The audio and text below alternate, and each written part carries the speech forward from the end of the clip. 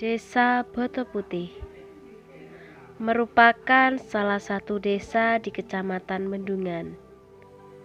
Desa Boto Putih terbagi menjadi dua wilayah, yaitu Desa Boto Putih Kulon dan Desa Boto Putih Wetan.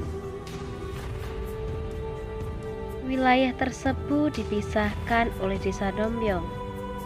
Desa Boto Putih Wetan terdiri dari tiga dusun, di antaranya Gangsan, Mangkujayan, dan Jambi.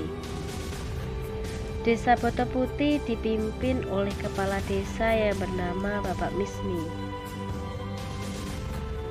Setiap dusun dipimpin oleh kepala dusun, salah satunya yang bernama Bapak Sucito, selaku kepala dusun Jambi.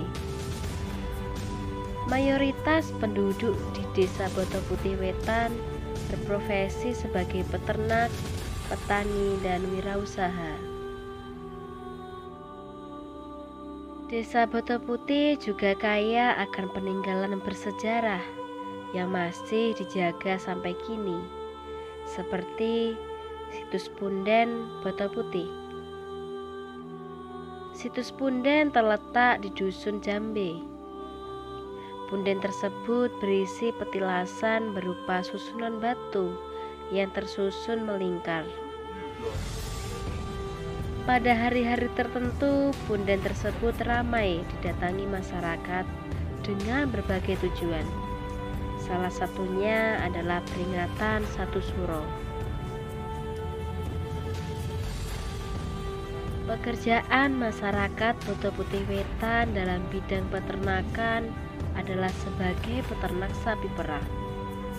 Selain itu, masyarakat yang berprofesi sebagai petani memilih untuk menanam padi, jagung, sayuran, palawija, dan juga kopi. Sebagian masyarakat lainnya berprofesi sebagai wirausaha di rumah. Salah satunya adalah pembuatan kopi beras bumbu klopo.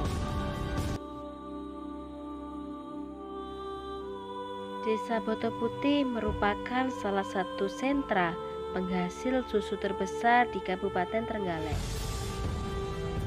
Mayoritas penduduk Boto Putih bergantung kepada penghasilan susu.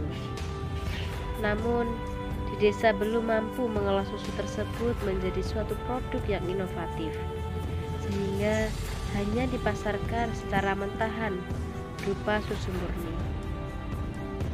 Kondisi wilayah Boto Putih Wetan sebagian besar berupa lereng Gunung Wilis, lembah, serta perbukitan yang eksotis.